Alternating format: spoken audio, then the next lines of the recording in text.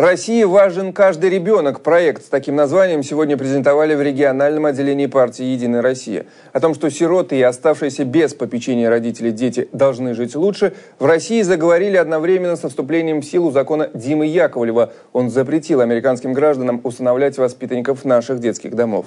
На партийной презентации побывала Ольга Маркова. Оль, так о чем конкретно шла речь?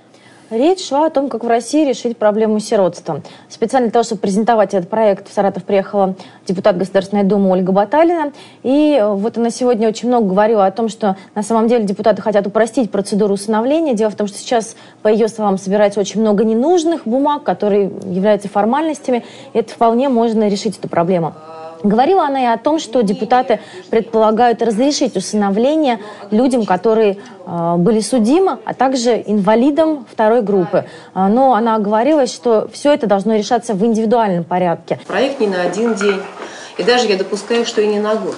Потому что задачу, которую мы ставим перед собой, а, это, с одной стороны, сокращение необоснованного, особенно изъятия детей из семей, которые оказались в трудной жизненной ситуации, изменение там, где это необходимо, условий пребывания и проживания детей в учреждениях. И третье направление – это расширение, развитие всех форм семейного устройства. Ну и скажу только, что сейчас в России э, около 650 тысяч детей-сирот, оставшихся без попечения родителей, и больше 100 тысяч по-прежнему живут в детских домах. А насколько проблема детей и сирот актуальна для нашего региона?